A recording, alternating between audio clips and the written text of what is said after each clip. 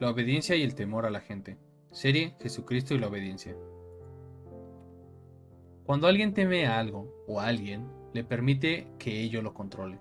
Por desgracia, el temor a la gente es un obstáculo para obedecer a Dios, así como un área de persistencia al pecado en la vida de los cristianos.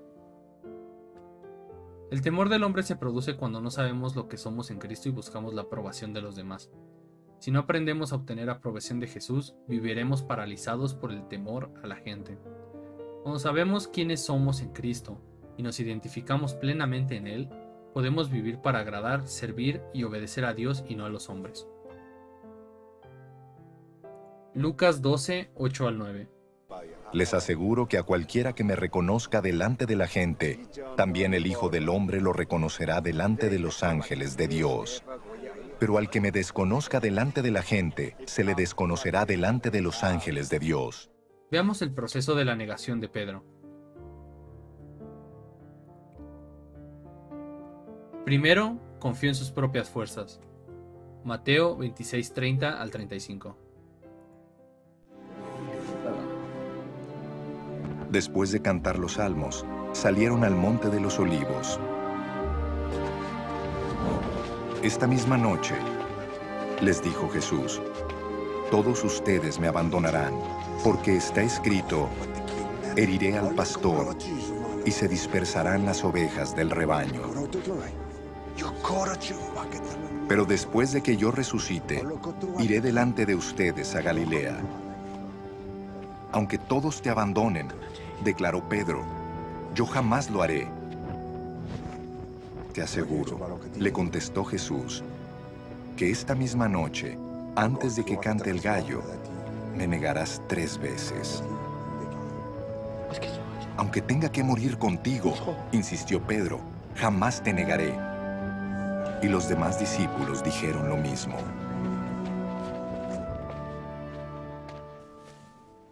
Cada vez que confiamos en nuestras propias fuerzas vamos a fracasar, debido a que Dios advierte que debemos depositar toda nuestra confianza en Jesús y no en la carne. Segundo, actúa en sus propias fuerzas. Juan 18, 10 al 11.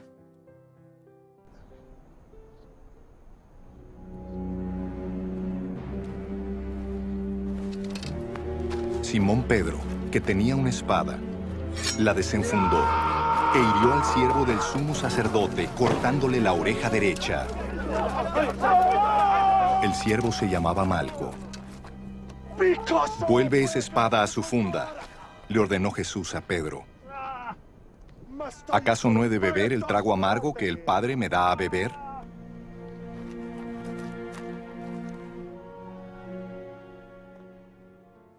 Una vez que dejamos permanecer en Jesús al dejar de confiar en Él, empezamos a hacer las cosas en nuestras propias fuerzas, olvidando que separados de Jesús nada podemos hacer.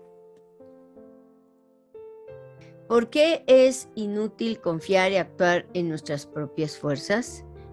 Una de las más grandes mentiras del diablo que el mundo entero ha creído es esta.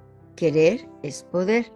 El mundo está lleno de filosofías y mentiras que surgen de la manera de Satanás, tales como, si quieres, puedes. Tú eres el arquitecto de tu propio destino. El poder está en ti. Tú puedes alcanzar todo lo que desees si solo te lo propones. Todas esas mentiras no son sino las, la misma tentación. Permítame, porque está Beto haciendo aquí unos cambios. Ok. Todas. Ay, eh, ¿Qué les estaba diciendo? Todas. Ah, ok. Todas esas mentiras no son sino la misma tentación que Satanás le dijo a la mujer en el huerto. Serán como Dios. Y lo siguiente, y, lo que sigue, o sea, y, y lo sigue susurrando y vomitando de diferentes maneras a todos los seres humanos y la gente se lo ha creído y por eso la gente fracasa, ya sea mortal, espiritual, familiar, emocional o económicamente. Y el diablo sabe que si confiamos y actuamos en nuestras propias fuerzas, inevitablemente fracasaremos y arruinaremos nuestras vidas. Y ese es su meta final, robarnos, matarnos y destruirnos. La verdad es que por más que queramos hacer algo, no vamos a poder hacerlo a menos que sepamos cómo hacerlo. Si se nos descompone algo, a menos que sepamos, no podremos arreglarlo por más que queramos hacerlo y si lo intentamos, lo echaremos a perder y lo vamos a arruinar peor. Eso es exactamente lo que pasó con Pedro y pasará con nosotros si confiamos y actuamos en nuestras propias fuerzas.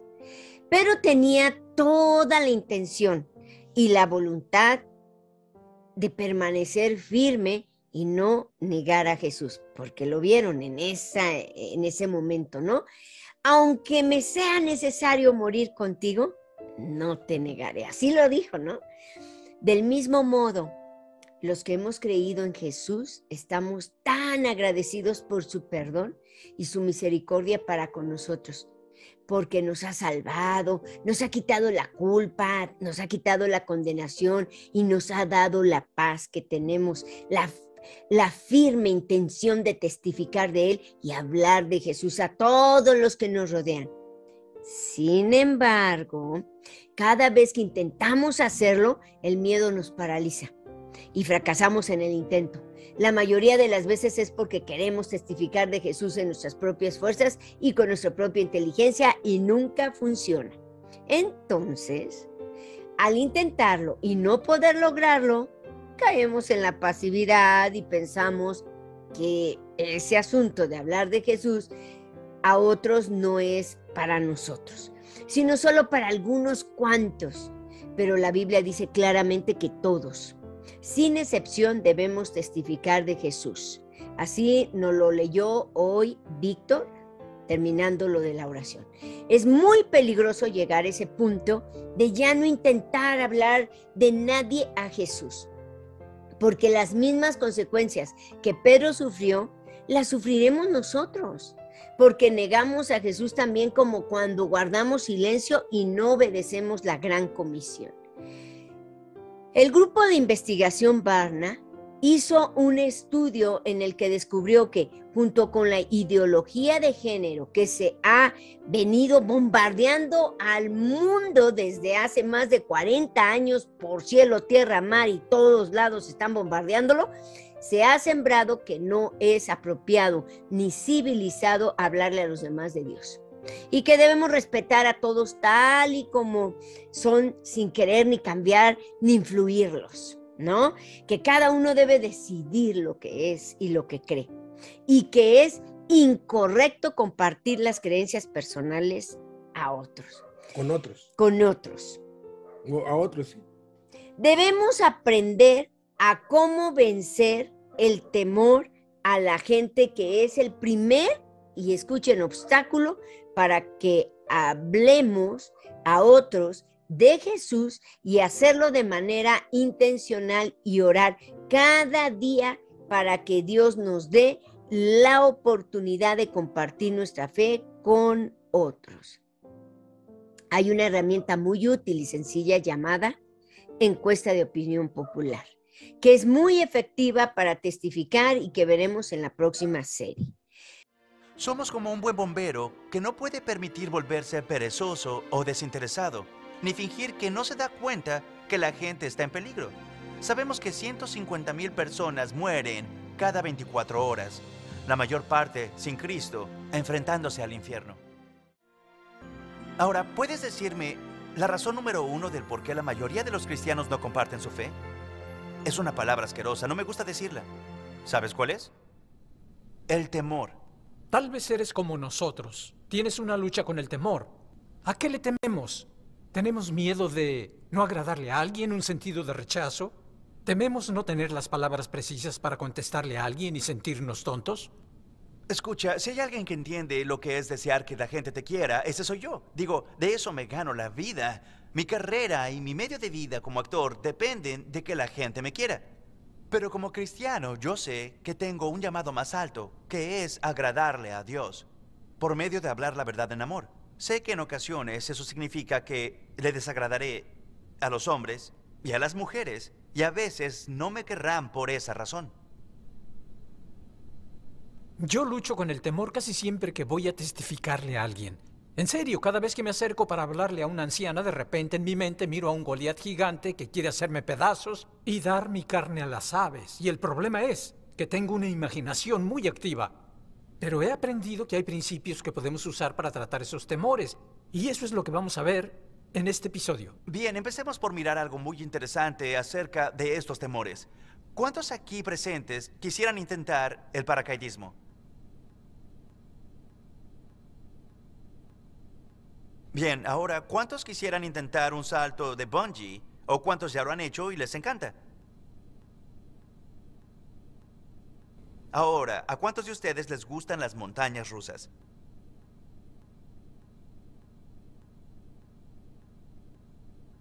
Ahora, ¿qué es lo que nos gusta de estas cosas? Es el amor a ese sentido de temor, es la adrenalina. Una chica en nuestra iglesia practicaba el paracaidismo y cuando su paracaídas se enredó terminó muerta a los 17 años. Otra chica en California saltó con un instructor y cuando se enredó su paracaídas, sus amigos le oyeron gritar cuando sus cuerpos golpearon el suelo haciéndolo estremecer a 100 yardas. En la televisión vi a un hombre intentar un salto de bungee. Su bungee se rompió. Pasaron otro en el cual el bungee dio vuelta y se enganchó en su cuello. En los últimos años, más de 50 personas han muerto en los Estados Unidos en montañas rusas. ¿No es extraño? Estamos preparados para poner nuestras vidas en juego por amor al temor. Sin embargo, estamos temerosos, a punto de parálisis, cuando se trata de compartir nuestra fe. Cuando se trata de decirle a una persona cómo hallar la vida eterna. Es una locura. ¿Qué pasa aquí? Bueno, la Biblia nos dice que hay diferentes clases de temor. Hay un temor que conlleva el tormento y ese temor no viene de Dios, es demoníaco. Y ese es el tipo de temor con el cual tú y yo lucharemos cada vez que compartamos nuestra fe. ¿Recuerdas que en el libro de los Hechos el apóstol Pablo recogía ramas secas para hacer una hoguera? Y cuando lo hacía, la Biblia dice que una víbora se le prendió en la mano. Las escrituras dicen que Pablo se sacudió arrojando el animal al fuego. Y eso es lo que tenemos que hacer con el miedo. Cuando esa víbora se prende de nuestra mano evangelística, debemos sacudírnosla. Entonces, ¿cómo lo hacemos? ¿Cómo sacudimos al animal del miedo de nuestra mano? Pues el modo principal de deshacernos del temor es a través de la compasión. En otras palabras, aprende a preocuparte más por la otra persona de lo que te preocupas por ti. Piénsalo. ¿Cuál sería el peor de los casos para ti? Cuando comparto con alguien, tal vez me diga, lárgate, enano tonto y bigotón. Y tengo un sentido de rechazo. Pero ¿cuál es el peor de los casos para ellos? Pues van a pasar la eternidad en el lago de fuego. Así que lo que debemos hacer es desarrollar un sentido de compasión para que cuando nos acerquemos a alguien, nos olvidemos de nosotros y pensemos en ellos. El segundo principio para vencer al temor es dejar que tu temor se convierta en tu fuerza. Deja que tus temores trabajen para ti. Escucha este relato. Dos ranas se caen en un tazón de crema y se atascan. Una de las ranas dice, oh, mírame, estoy atascada en esta crema y no puedo salir, creo que solo me dejaré hundir y morir. La otra rana dice, no voy a morir en un tazón de crema. Así que comenzó a dar patadas con sus patitas, a chapotear y batió con sus aletitas. ¿Y sabes qué pasó?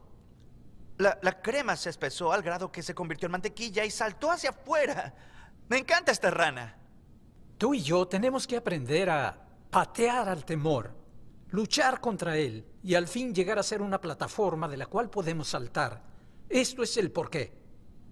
Nuestros temores tienden a hacernos orar. Cuando testifico, pienso dentro de mí mismo, oh Señor, estoy tan temeroso, por favor ayúdame. Entonces lo que sucede es que mi temor se convierte en mi poder porque me lleva a mis rodillas. Y Dios dijo, mi poder se perfecciona en la debilidad. Y el apóstol Pablo dijo, cuando soy débil, entonces soy fuerte. Acoge tus temores, porque ellos te llevarán a tus rodillas. Y todo cristiano sabe que ahí es donde está nuestra fuerza. Sabes, para mí la parte más difícil al compartir mi fe siempre es el inicio, el mero principio.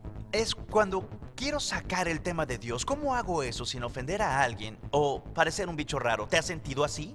Bien, ¿qué tal si yo te pudiera dar algo que te quitara todo el temor y la tensión a los primeros 60 segundos de sacar el tema. ¿Qué tal si rompiera el hielo y te abriera el camino para que compartas tu fe abierta y honestamente y aún hacer reír a la persona y sonreír? Y si eres una persona muy tímida, hasta hablaría por ti. Pues lo tengo. Mira esto. ¿Te gustan las ilusiones ópticas? ¿Cuál te parece más largo, el de color rosa o azul? ¿Rosa o azul? ¿Estás seguro? La verdad es que son exactamente del mismo tamaño.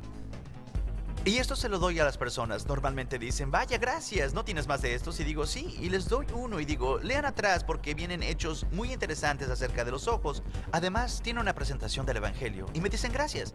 Y otra de las cosas que me gusta dar para iniciar una conversación es este librito maravilloso. Y le digo a la gente que se ha hecho un estudio que deben leer detenidamente. Se titula Todo lo que el hombre ha aprendido acerca de la mujer. Y empiezan a leerlo. Efectivamente, al hojear las páginas encuentran que no hay nada adentro. Y les digo que se aseguren de leer la contraportada porque tiene unos cuantos hechos interesantes acerca de Dios. Y a la gente les encantan estos. Y este es mi favorito. Sí, Es un billete de un millón de dólares. No es falso porque no existe un billete de un millón de dólares. parece auténtico. Bueno, si existieran, se verían como este. Ah, en la parte trasera tiene una presentación del Evangelio. Inicia con la pregunta del billón de dólares. Y es fácil de distribuir porque a la gente le encanta el dinero y le fascina un billete de un millón de dólares. Le digo, disculpa, hiciste un buen trabajo. Quédate con el cambio. A todos les gusta quedarse con el cambio. Estos siempre los llevo en mi cartera. Y frecuentemente digo, ah, solo recuerda mi cara. Y enseño mi foto en mi cartera. Tengo la cabeza alargada, tal vez lo notas, ¿o no?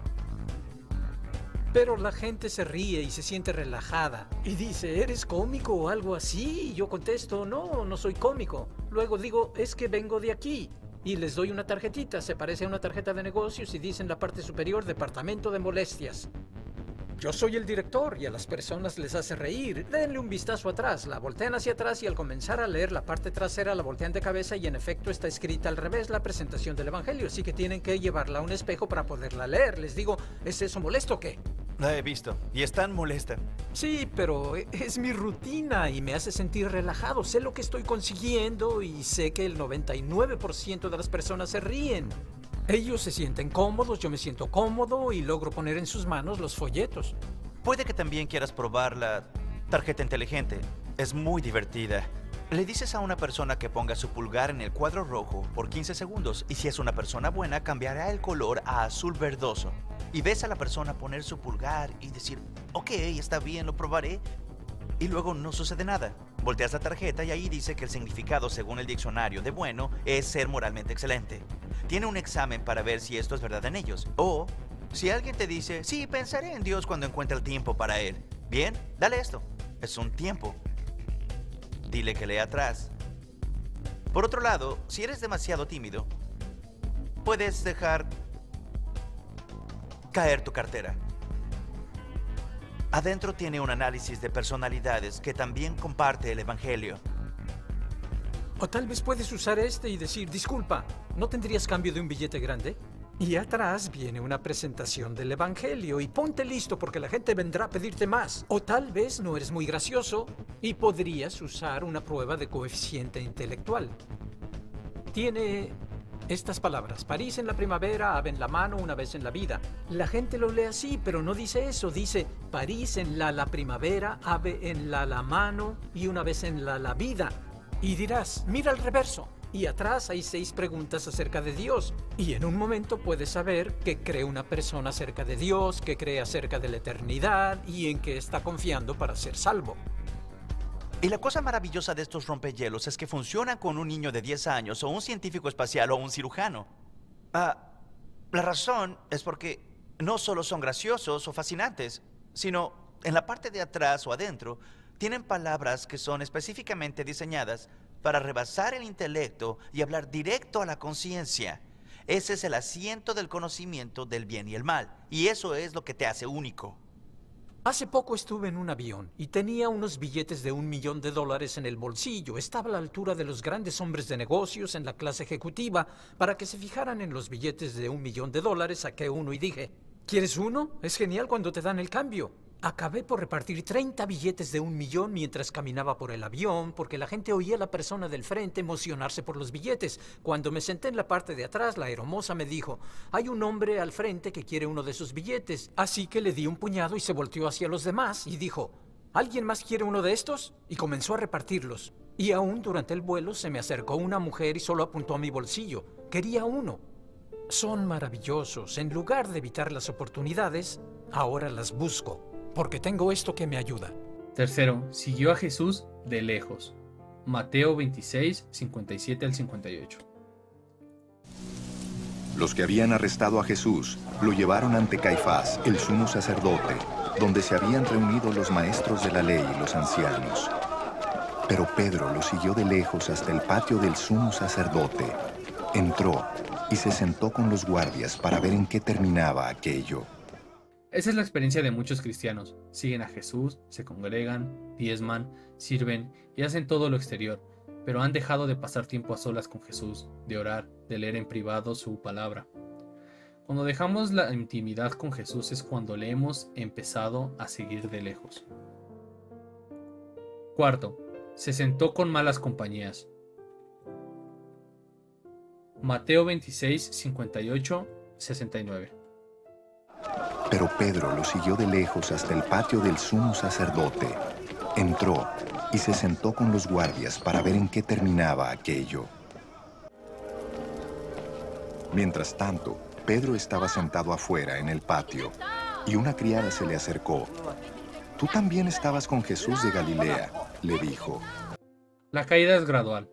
Al no disfrutar del compañerismo con Jesús, empezamos a asociarnos con malas compañías, olvidando que las malas conversaciones corrompen las buenas costumbres. ¿Por qué las malas conversaciones son extremadamente peligrosas?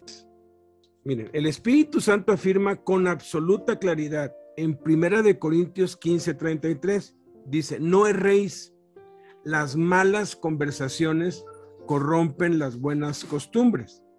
Es muy bueno cuando uno quiere entender algún texto o alguna declaración, leer la misma declaración en distintas versiones de la Biblia. Fíjense cómo dice en otras versiones de la Biblia. No os dejéis engañar. Las malas compañías corrompen las buenas costumbres, dice la Biblia de las Américas. No erréis, los malos compañeros corrompen el buen carácter. Eso lo dice la Biblia del jubileo. No se dejen engañar. Los malos compañeros echan a perder las buenas costumbres. Esa es la Dios habla hoy. No se dejen llevar por los que dicen tales cosas. Las malas amistades echan a perder las buenas costumbres. Eso lo dice la Biblia viva. La palabra de Dios para todos lo dice así, pero no se dejen engañar las malas compañías dañan las buenas costumbres. La traducción al lenguaje actual lo dice así, no se dejen engañar, las malas amistades echan a perder las buenas costumbres. Generalmente conversamos con quienes pasamos tiempo. Debemos tener cuidado de no dar rienda suelta a las palabras. Recordemos que lo que en verdad nos contamina son las palabras que salen de nuestra boca y que debemos ponerle un freno a nuestra lengua, pensar antes de hablar y cuidar lo que hablamos, porque el éxito y el fracaso en la vida depende de cómo usamos la lengua. Si no testificamos de Jesús abiertamente y nos identificamos como seguidores de Jesús, sea por la razón que sea, nos enfriaremos espiritualmente por dejar de tener un tiempo a solas con Dios para leer la Biblia y orar, o sea, seguir a Jesús de lejos. Y entonces, sin darnos cuenta, nos veremos involucrados con personas que no conocen a Dios y ya que tenemos la imperiosa necesidad de hablar y de ser escuchados, así como todos los seres humanos, desahogaremos esa necesidad con ellos en vez de haberlo hecho ya a través de la oración con Dios y con otros creyentes en Cristo. Y eso es muy peligroso, porque acabamos de leer que las malas conversaciones corrompen las buenas costumbres. No dice que las malas conversaciones pueden corromper las buenas costumbres, sino que lo asegura. Las malas conversaciones corrompen, descomponen, echan a perder las buenas costumbres. Sin importar cuánto nos esmeremos por ser transformados a la imagen de Jesús y obedecerle, si no testificamos de Jesús con los demás intencional y premeditadamente, terminaremos así como Pedro, en malas conversaciones con personas que no conocen a Dios y que también necesitan a Jesús, pero que nadie se ha atrevido o ha tenido el valor de evangelizarlos. Pero cuando lo hacemos, cuando buscamos la manera de compartirles nuestra fe, algunos se burlarán, otros se opondrán, otros nos cuestionarán, pero inevitable y seguramente algunos se interesarán y querrán saber más. Y es a esos a quienes debemos llevar a conocer a Jesús y después disipularlos. Posiblemente los que se oponen y se burlan nos aparten de ellos y hablen mal de nosotros, pero eso es algo que ya Jesús nos advirtió y es parte del precio que tenemos que pagar por ser cristianos, porque Jesús dijo que el mundo nos aborrecería por su causa y que seríamos perseguidos. La, persecución debe ser el estado normal de cualquier creyente que está obedeciendo a Cristo. Otro aspecto que hay que cuidar son los libros que leemos, porque es virtualmente una conversación con el autor. Y si no estamos alertas y filtramos la información con las enseñanzas de Jesús, eso también corromperá nuestras buenas costumbres y terminaremos llamando bueno a lo malo y a lo malo bueno. En la, en la universidad a mí me dejaron leer muchísimos libros, yo los leí todos, pero yo subrayaba lo que obviamente estaba mal y cuando me dejaban algún ensayo o algún, o algún resumen de de pues cualquier libro, yo hacía el resumen exactamente como era, pero le ponía notas. Aquí dice esto, pero este concepto es erróneo porque ta, ta, ta, ta, ta. Y todos me decían, oye, ¿y tú qué? Pues, ¿qué eres? Y ya les hablaba de Cristo a los maestros de ese modo.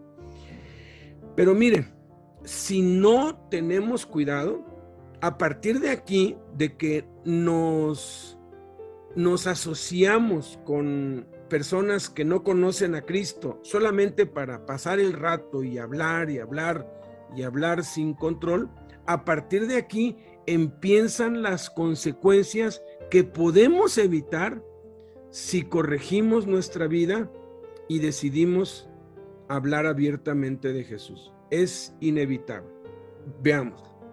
Primera consecuencia, quedó fuera. Mientras tanto, Pedro estaba sentado afuera en el patio. Esta es la primera terrible consecuencia del pecado. Quedamos fuera de la protección de Dios por nuestra desobediencia. Adán fue echado fuera, nosotros lo seremos también si no permanecemos en obediencia a Jesús. El que no permanece unido a mí será echado fuera y se secará como las ramas que se recogen y se queman en el fuego. Quinta. Primera negación. Mateo 26, 69 al 71. Mientras tanto, Pedro estaba sentado afuera en el patio y una criada se le acercó. Tú también estabas con Jesús de Galilea, le dijo. Pero él lo negó delante de todos, diciendo, no sé de qué estás hablando. Luego salió a la puerta. Segunda consecuencia, se alejó más de Jesús. Luego salió a la puerta. Negamos a Cristo cuando no hablamos de Él. Lo negamos cuando callamos, cuando nuestra conducta contradice lo que Él ordena, cuando no servimos por amor a los demás, cuando desobedecemos. Y entonces, si no nos arrepentimos, seguiremos negando a Jesús más y más. ¿Qué significa si negamos a Jesús, Él también nos negará? Jesús advirtió fuertemente acerca de negarlo a Él de no compartir nuestra fe en Él con los demás. En Mateo, bien claro, no lo dice, Mateo 10, 32 al 33, Él dijo, a cualquiera, pues, que me confiese delante de los hombres, yo también le confesaré delante de mi Padre que está en los cielos.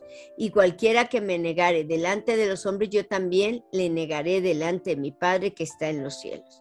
En Lucas 12, 8 al 9, les digo que todo aquel que me confesare delante de los hombres, también el Hijo del Hombre le confesaré, le confesará delante de los ángeles de Dios, mas el que me negare delante de los hombres será negado delante de los ángeles de Dios. En Marcos 8:38 dijo Jesús, porque el que se avergonzare de mí y de mis palabras, en esta generación adúltera y pecadora, el Hijo del Hombre se avergonzará también de él, cuando venga en la gloria de su Padre con los santos ángeles. Son palabras muy fuertes y aterradoras para los que niegan a Jesús, pero muy alentadoras y maravillosas para los que lo confiesan. Jesús dice que si lo confesamos delante de los hombres, Él también nos confesará delante del Padre y delante de los ángeles de Dios. Y si le negamos delante de los hombres, Él nos negará delante del Padre y de los ángeles de Dios. ¿Qué significa y por qué hace si nos ama? El Padre es la fuente de toda provisión en nuestras vidas y los ángeles son enviados primordialmente para nuestra protección. Aquí están los dos factores, provisión y protección. Si nosotros confesamos a Jesús delante de la gente, tenemos asegurada la provisión de Dios y la protección de los ángeles. Todo lo que nos falte nos será suplido conforme a las riquezas de Dios en gloria en Cristo Jesús, en lo espiritual, en lo emocional, en lo físico y material. También seremos protegidos del mal, de estar en un lugar equivocado en el momento incorrecto, de cometer errores, de ser víctimas de los hombres perversos y de pérdidas y desperdicios. Sin embargo, si negamos a Jesús delante de la gente, entonces no contaremos ni con la provisión de Dios ni con la protección de los ángeles. Experimentaremos escasez sobre todo en el área espiritual y emocional aunque también puede ser económica y de salud. Hay gente con mucho dinero y posesiones, pero vacíos totalmente por dentro y con muchos desequilibrios mentales y emocionales. Tampoco seremos protegidos del mal, estaremos en el lugar equivocado, en el momento incorrecto, cometeremos muchos errores, seremos víctimas de hombres perversos y experimentaremos muchas pérdidas y desperdicios en nuestra vida. ¿Por qué si Jesús nos ama nos niega? Precisamente por eso, porque nos ama, porque conoce nuestra naturaleza pecaminosa y nos permite sufrir todas las consecuencias de nuestra desobediencia para que nos volvamos a Él y lo obedezcamos, porque Dios, que nos creó, sabe que solamente hallaremos la verdadera felicidad obedeciéndolo. Ahora, si estamos confesando a Jesús intencional y premeditadamente, eso no significa que no sufriremos escasez o que el mal no nos tocará nuestras vidas, sino que a pesar de eso seguimos llenos de gozo y paz y nada podrá quitarnos la verdadera felicidad tal y como sucede con nuestros hermanos que por causa de Cristo son perseguidos, despojándonos y encarcelándolos en el mundo por su fe. Sexto, segunda negación. Mateo 26, 71b al 72. Luego salió a la puerta, donde otra criada lo vio y dijo a los que estaban allí, Este estaba con Jesús de Nazaret. Él lo volvió a negar jurándoles, a ese hombre ni lo conozco. Tercera consecuencia, mintió bajo juramento. Pero yo les digo, no juren de ningún modo. Ustedes son de su padre, el diablo, cuyos deseos quieren cumplir. Desde el principio este ha sido un asesino y no se mantiene en la verdad, porque no hay verdad en él. Cuando miente, expresa su propia naturaleza, porque es un mentiroso. Es el padre de la mentira. Satanás es el padre de la mentira. Cuando uno empieza a negar frecuentemente a Jesús, entonces nos atrapa y esclaviza. Todo aquel que hace mentira ha sido esclavizado por el diablo. Si la mentira es parte normal de nuestras vidas, deberíamos arrepentirnos de todo corazón y suplicar la misericordia de Dios antes de que la ruina y la desgracia nos destruyan. Una vez que Satanás nos atrapa por medio de la mentira, las consecuencias llegan en cascada. La caída es inevitable y se llega al escándalo público. Cuando alguien cae por fuera es que ya hace tiempo que cayó por dentro. Por eso Dios nos da tiempo, en su gracia, para que nos arrepintamos antes de que sea demasiado tarde. 7. Tercera negación. Mateo 26, 73 al 75. Poco después se acercaron a Pedro los que estaban allí y le dijeron, Seguro que eres uno de ellos. Se te nota por tu acento y comenzó a echarse maldiciones y les juró, a ese hombre ni lo conozco. En ese instante cantó un gallo. Entonces Pedro se acordó de lo que Jesús había dicho. Antes de que cante el gallo, me negarás tres veces. Y saliendo de allí, lloró amargamente. Cuarta consecuencia, maldijo y comenzó a echarse maldiciones y les juró, a ese hombre ni lo conozco. Quinta consecuencia, salió fuera. Y saliendo de allí. Sexta consecuencia, lágrimas. Lloró amargamente. Séptima consecuencia, amargura. Lloró amargamente. Las consecuencias fueron terribles, maldición, expulsión, tristeza y amargura, tal y como pasó en Edén por la desobediencia de Adán. Dios permite que suceda esto para que nos arrepintamos. ¿Cómo detectar la amargura para combatirla, erradicarla y sobre todo prevenirla? Porque al final de cuentas la amargura muestra el estado de alguien que ya no tiene acceso a la gracia de Dios. Y obviamente ese es el estado pues final. ¿Cómo detectarla? Bueno, Hebreos 12, del 12 al 17 nos dice cómo detectar si yo tengo amargura.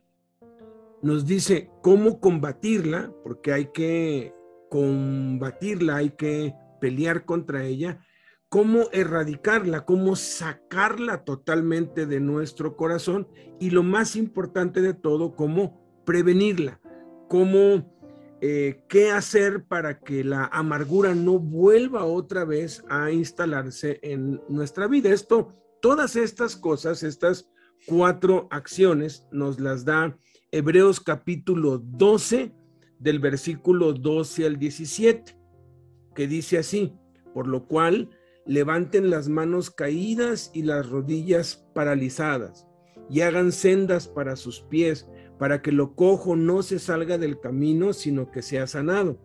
Sigan la paz con todos y la santidad, sin la cual nadie verá al Señor.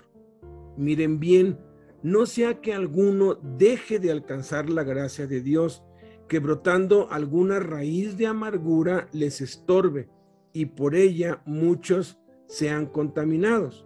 No sea que haya algún fornicario o profano como Esaú, que por una sola comida vendió su primogenitura, porque ya saben que aún después, deseando heredar la bendición, fue desechado y no hubo oportunidad para el arrepentimiento, aunque la procuró con lágrimas. Bueno, ¿cómo la detectamos? Aquí dice que quien tiene amargura o empieza ya con una raíz de amargura en su corazón, dice que deja de alcanzar la gracia de Dios, dice que le estorba y que muchos son contaminados por ella. nos damos cuenta que tenemos amargura cuando por más que nos esforzamos en Dios, por más que oramos y leemos la Biblia y hacemos todo lo que mm, pues entendemos y sabemos que debemos hacer, las cosas no salen bien. A veces por diseño de Dios las cosas no salen bien porque estamos atravesando por el, por el valle de sombra de muerte, porque estamos en una prueba, porque Dios está poniendo a prueba nuestro amor para con Él. Pero a veces, cuando ya es una constante, entonces es muy seguro que hay amargura. Otro síntoma es que nos hay estorbos, nos cuesta mucho leer la Biblia, nos cuesta mucho orar, nos cuesta mucho pasar tiempo con Dios, se nos hace muy pesado y muy difícil poner atención, se nos hace muy difícil eh, eh, ayunar y hacer cualquier cosa. Ahora sí que eh, somos estorbados y tenemos muchos conflictos con mucha gente, ¿sí? Como el que una vez iba en su carro y se metió en sentido contrario en una autopista y pues todos los carros venían así y de pronto su esposa le habla y le dice, oye, eh, ah, están pasando en las noticias aquí que hay un carro que va en sentido contrario y le dice no, no, no es uno, son como 100, ¿no? Él era el que iba en sentido contrario y no se había dado cuenta. Ok, ¿cómo la combatimos? La única manera de combatir la amargura es perdonando de todo corazón. Es una de las acciones más difíciles, pero es algo que tenemos que hacer, perdonar con todo el, el corazón. Y es un ejercicio que tenemos que hacer hasta que el dolor desaparece. Ahora, ¿cómo erradicamos? Porque eh, aun cuando ya no sintamos dolor, todavía está allí, como cuando nos recetan, ¿verdad? Se toma estas pastillas durante siete días cada ocho horas. A los tres días ya no nos duele y la mayoría deja de tomar las medicinas por los siete días y entonces la enfermedad le vuelve porque nos mandan siete días porque no solamente es que ya no sintamos el dolor, sino que se erradique completamente. Entonces, para erradicar, aun cuando ya no sintamos ningún resentimiento contra nadie, dice aquí, seguid la paz con todos y la santidad. Entonces hay que revisar nuestras vidas para dejar de hacer lo malo, para erradicar, para quitar las cosas malas de nuestra vida, eh, caminar en santidad ante Dios. Y más importante, ya que estamos libres, hay que prevenirla. ¿Cómo se previene? Tres acciones nos dice. Levanten las manos caídas, las rodillas paralizadas y hagan sendas derechas para sus pies. Alegóricamente eso significa levantar las manos caídas es la acción de gracias, tener una actitud de gratitud siempre, todo el tiempo, eliminar las quejas de nuestra vida. Las rodillas paralizadas tiene que ver con la oración, que hay que practicar la oración constantemente y el hacer sendas derechas para nuestros pies tiene que ver con la palabra de Dios, con vivir conforme a la voluntad de Dios. La restauración de Pedro, Marcos 16:7. Pero vayan a decirles a los discípulos y a Pedro, Él va delante de ustedes a Galilea. Allí lo verán tal como les dijo. Jesús sabía que Pedro estaba destrozado. La amargura es muy peligrosa, porque nos impide alcanzar la gracia de Dios, nos estorba y contamina a muchos. Por eso le mandó a decir en especial a Pedro, para hacerle saber que él todavía era parte de sus discípulos. Primera de Corintios 15:5 Fue enterrado y al tercer día fue levantado de los muertos, tal como dicen las escrituras. Lo vio Pedro y luego lo vieron los doce. El que Pedro supiera que seguía siendo parte no era suficiente, por eso Jesús tuvo que visitarlo personalmente.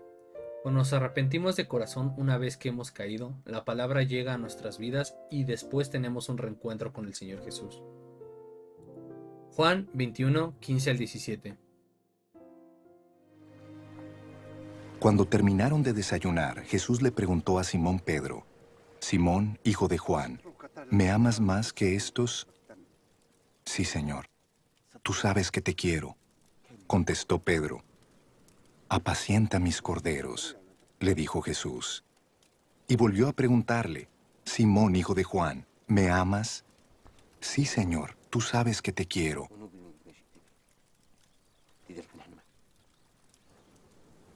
Cuida de mis ovejas. Por tercera vez Jesús le preguntó, Simón, hijo de Juan, ¿me quieres? A Pedro le dolió que por tercera vez Jesús le hubiera preguntado, ¿me quieres? Así que le dijo, Señor, tú lo sabes todo, tú sabes que te quiero. Apacienta mis ovejas, le dijo Jesús. Después del reencuentro, Jesús le dio una comisión triple. Tres veces Pedro negó a Jesús, tres veces le pidió que le confirmara su amor y tres comisiones le encargó realizar. La segunda oportunidad para Pedro, Hechos 2.14 y 3.11 al 12. Entonces Pedro dio un paso adelante, junto con los otros once apóstoles, y gritó a la multitud.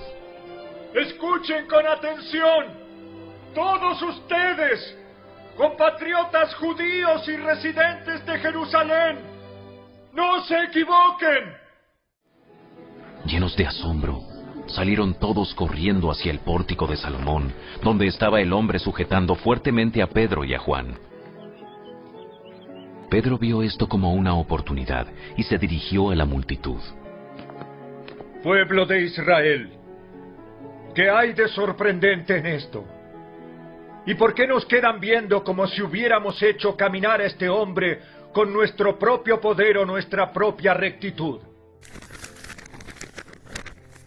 Pedro estaba totalmente sanado, por eso tuvo el valor para hablar frente a la multitud, y tan limpia estaba su conciencia que acusó a los gobernantes y al pueblo de que ellos habían negado a Jesús. Podrían haberle dicho que él también lo había hecho, pero eso no los excusaba de hacerlo, y tampoco a Pedro le impedía confrontarlos con la verdad. Clave del cambio, el Espíritu Santo. Hechos 1.8 y 4.8.